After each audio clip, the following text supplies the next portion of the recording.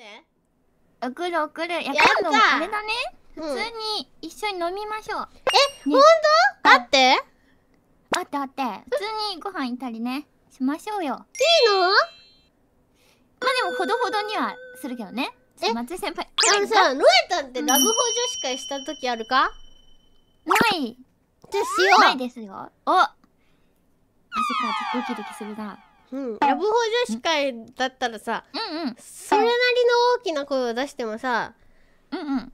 大丈夫じゃないですか。だかいや、ら、いやでも、でも、ちょっとど待って。れだけノエタンが助けを呼んでも、いや、やだな、ちょっとそう。来ないよ。あの、ご飯、飲食店にしましょうね、飲食店飲に。食店ですか、うん、そうだね。そう、ちょっと、ベッドがあるのはまずいなと。ベッドがあるしました。え、でも俺たちベッドの中で二人仲良くしたじゃん。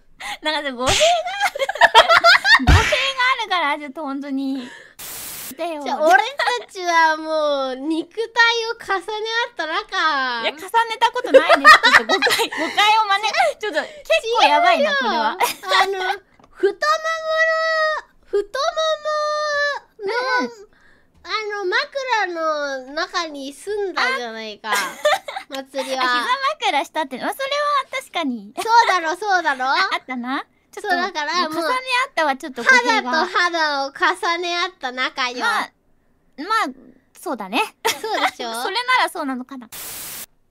じゃあまあ、団体って大事だからね。そうそうそうそう、順番は大事だね。じゃあ、そうだね。じゃあ、次はまずご飯行きの、うんうん。映画とか見てからの、カラオケとか行って個室に慣れてからのラブホ女子会っていう、そういう、うんなんか、すそうごい、う感じで行こうプラン立ててね。行きましょうね。